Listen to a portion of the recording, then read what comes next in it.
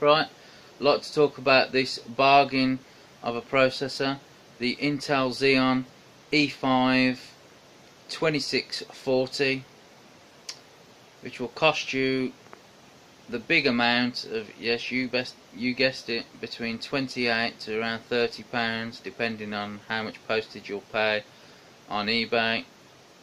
These will have to be picked up from eBay because they're obviously um, server processors um, that have been used in a server system. Now I will apologise first of all for the, it's not so bad at the minute, but the darkness of the uh, video. This particular camera, although it shows up as being bright as I'm filming on the screen, does seem to output a little uh, dark. Now I can try and adjust that in the uh, editing program. I'll see if we can get it a little bit brighter, but we'll see um, about that. Um, this processor is obviously a bargain. There's some people raving about the E5 2670, which is in the same uh, stable, if you like, the same uh, group, little grouping of processors. And that processor was very good as well, and it is good, and it is a good value processor. That processor cost um, about seventy dollars, they said, which is it's actually around about seventy pounds as well over here, so it's a little bit more. Um, unless of course we we're buying it from America then you could pay about 60 60 odd dollars for uh, 60 pounds for that. 60 dollars man. 60 pounds uh, over here. Um, there's other pro another processor which is the same. That 2670 was obviously um, an 8 core 16 thread processor with the another 8 uh, hyper threads. Now there's also the E5 2650 that's another 8 core with another with another 16 thread with an with another 8 hyper threads. Um, but that's only clocked a, a, lower 2 gigahertz compared to the 2.6 of the 2670 now this processor here that we've got the one that I'm touting is a real bargain an even better bargain than the 2670 dollars is obviously about a 28 pound CPU uh, obviously it's cheaper. We know that from the cost. But the thing is this processor is it's not an 8 core it's a 6 it's a 6 core. It's clocked at 2.5 gigahertz so it's only 100 megahertz um, below but it's it's a, it's got a decent level cache on board. Um, but it's so it's obviously higher in, than the two, the, the, the 2650 uh, above it in speed although it doesn't have the same amount of cores.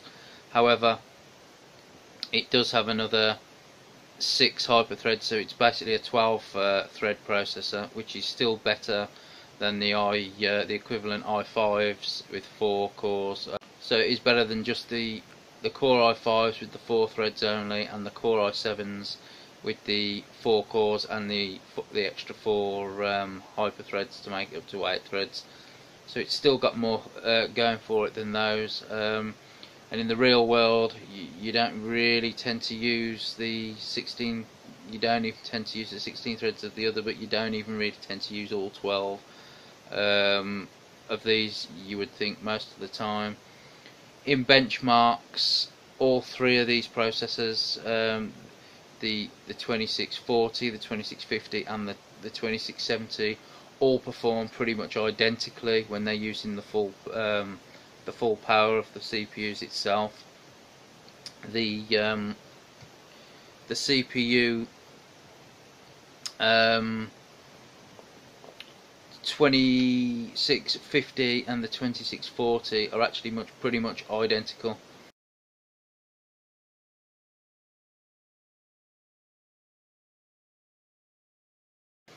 The uh, extra threads um, on that processor are kind of uh, nullified by the cache and the higher 2.5 gigahertz clock speed on this processor. The 2670 does just ever so slightly um, outsmart both of the uh, this the 2640 and the 2650, but it's only ever so slightly um, I'm talking ever so slightly, and that's probably only because it's got the extra 100 megahertz on there. Um, that's not saying that we don't know with a good um, X79 motherboard. They'll have to be. They are an X79 uh, chip, LGA 2011 um, socket, and you will need one of those motherboards to run this chip. Uh, this chip um, and and the others, obviously. Now, I forget what I was going to say. Then the yeah, the performance levels are identical virtually. Now we don't know how much, how much uh, like I said, we could overclock this chip. We might even be able to make up the speed. So if we can, if you can overclock that just a little bit, it might even edge the 26, um, the, the 2670 uh, that previously uh, people have been raving about. Um, the the reason the reason for that being that gaming obviously is the angle we're coming from because you wouldn't really need to upgrade. Um, like I've got an i7 um, at the minute, wouldn't really need to upgrade for anything other than that. You know, it's going to do uh, Office and web surfing and everything just fine. Uh, just like a lot of all, uh, like you, even the Core 2 Duos and everything like that are, are, decent enough for that kind of work. Um, we're not going to be you know upgrading for anything other than the, that game situation now. These tend to compete with the um, the i5 6600 and um, the the i7 above that. Um, is that the uh, is that the um, 6700K? Um, I can't think now at the minute. I'll probably put it in down here. Uh, all these CPU model numbers coming through my head. Um, when it comes to gaming, and obviously it's only a 30 pound uh, chip compared to you know a, a 230 pound um, uh, odd pound uh, i7 probably more or um, you know even an i an i5 um, or should we say even the i3 um, 6100 is 130 odd pounds. Um, this is just the 30 odd pounds off it and it's faster than that chip. Um, it's a bargain. Uh, there's no there's no two or three ways about it. Yeah, it's a second user chip, but it's been in a machine. It's been in a server in a bit in a in a company um, for the past couple of years. Um, what'll happen is the companies will, um, you know, they'll the, the, the new technology, the new processors will come out, the new new Xeon or Opteron um, from AMD processors will come out, and they'll want to change that. Company will come in, uh, technicians will um, change up the stuff for the new uh, equipment and then they'll say to them well can take the old components away and either dispose of it or whatever we don't want it uh, and then they strip them down then and then they'll sell them on eBay for like a cut down price. Don't forget this was a over a thousand pound uh, and, and the other ones uh, that we talked about over a thousand pound uh, processor just a couple of uh, years back so um, you know it's a grand in your hand really. Um, retail obviously they're still going to be fairly expensive to buy because the people are going to want to get that um, wholesale cost back um, that they paid for it. So you know that you're probably looking at close to around 800 maybe even uh, with some of them that I've discounted them down they're probably not going to go down lower than 4 300 so on eBay have a look on the, the, the second user market with these for this project. Um, nice little pro uh, cheap project, high performance machine for what it is. Um, absolute bargain uh, at the minute in my my eyes. The uh, alongside with the other uh, chip I'll talk about in a minute, which is the, the, the basically a Xeon equivalent to an i7, which is the I think it's the E5 1620, is it? Um, they're clocked quite highly, but they're only four cores and four hyperthreads exactly the same as um, so eight threads in total exactly the same as an i7 but they are quite high clocked. So when it comes to gaming uh, you might see um, about 3.6 gigahertz. You might see see a better um, you know improvement level in performance. However in, in, a lot of the modern games that do use a, a hell of a lot of the threading um, on the multi-threaded processors.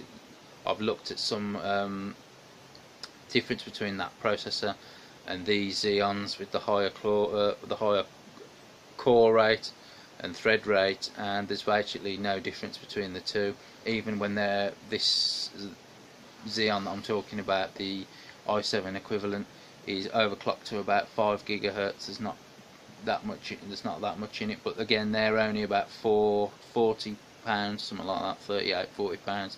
So a little down the road, it might be worth me uh, with a little project picking one of them up. Beans I've got this, beans it's exactly the same uh, motherboard, just swapping them over and, and, checking the performance of that and the overclocking and things like that of that CPU as well. That's that's another good one to pick up. The um, 2500, like we said, if you can't find one of these, the 2500, uh, the the 24, all these bleeding model numbers. The E5 2650 um, is about 50 pounds, so then that's that's cheaper than the E2670 but it's um, it's still not um, you know as it's uh, uh, you know it's, it's, still not as cheap as this one the 2640 but the two processors that's why this one is such a bargain in my eyes and why I'm championing it is such a bargain because in my eyes it, it, for, you know for 28 pounds um, it really is a bargain it's exactly the same performance as the next one up, which is uh, even on the second user on the eBay on the market is about fifty pounds. Um, you know, eh, because the the extra bump in in core speed, 2.5 gigahertz, makes up for the extra uh, missing threads, and then performance um, benchmarks they both perform bang on pretty much equally. Um, you know, between the two. Obviously, this will be better in um, single threaded stuff but like we talk about single threaded stuff. Half of the single threaded stuff don't want to work on um, Windows when it talks to games and things like that. Half of the single threaded stuff doesn't want to uh, work on Windows 10 some of your older stuff that you've got.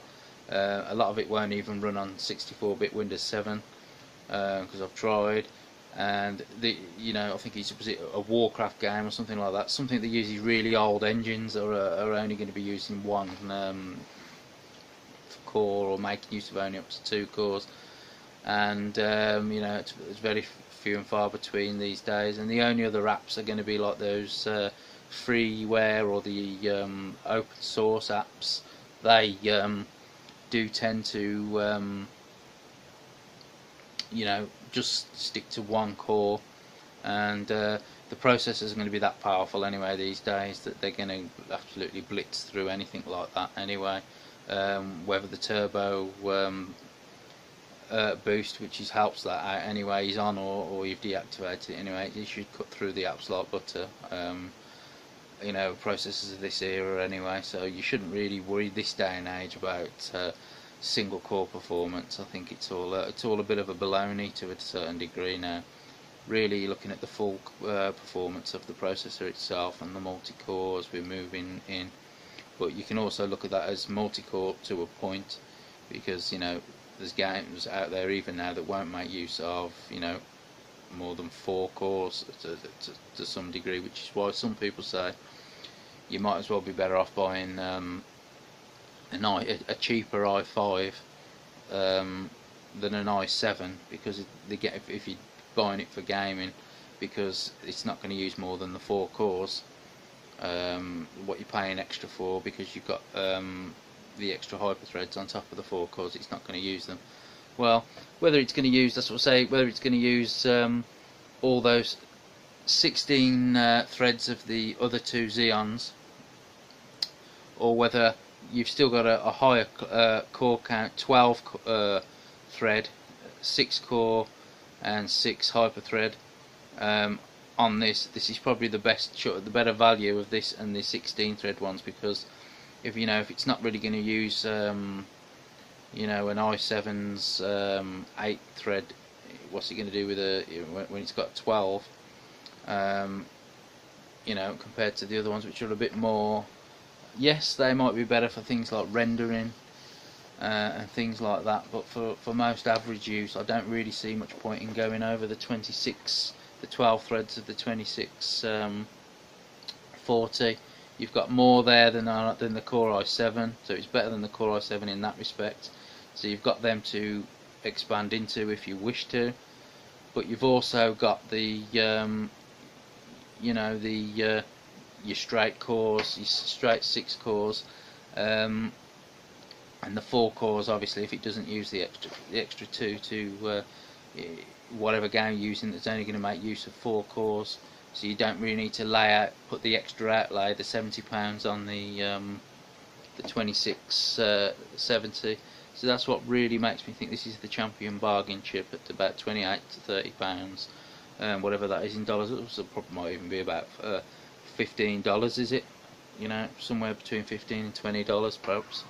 Uh, I'll probably put it down here. Just there.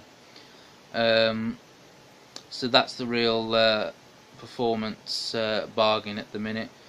Now obviously you will need an X90 X79 um, chipset motherboard LGA 2011 to run that. It is DDR3 DDR3 RAM like me if you've got some lying around to use that you can use 8 gigabytes at the minute but DDR3 is a lot cheaper than DDR4 so I could probably pick up uh, another bit more and boost that up to about 16 um, you know for a few uh, extra coppers. Um, it's really a fun project a really cheap project to get a real uh, good performing um,